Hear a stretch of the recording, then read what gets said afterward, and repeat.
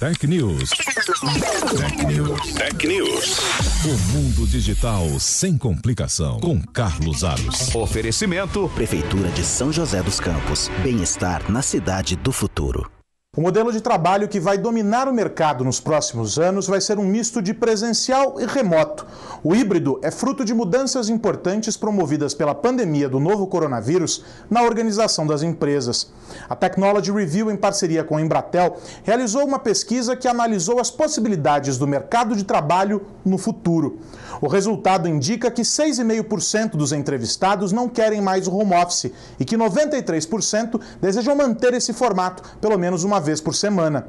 Entre os que não querem retornar ao escritório, 48% fazem parte do público até 44 anos. São profissionais que conseguiram conciliar a rotina profissional com a família e não querem abrir mão desta realidade.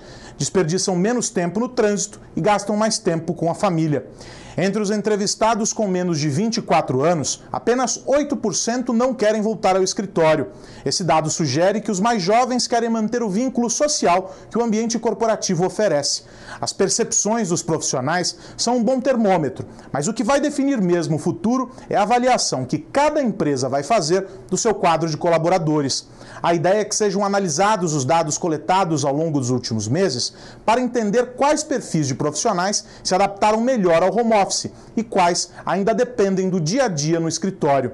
Segundo a pesquisa, um fator determinante para a escolha de um modelo híbrido ou não é o psicológico e como os profissionais estão lidando com as pressões dessa mudança de rotina.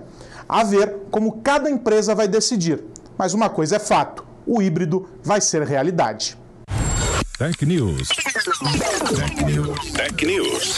O mundo digital sem complicação. Com Carlos Aros.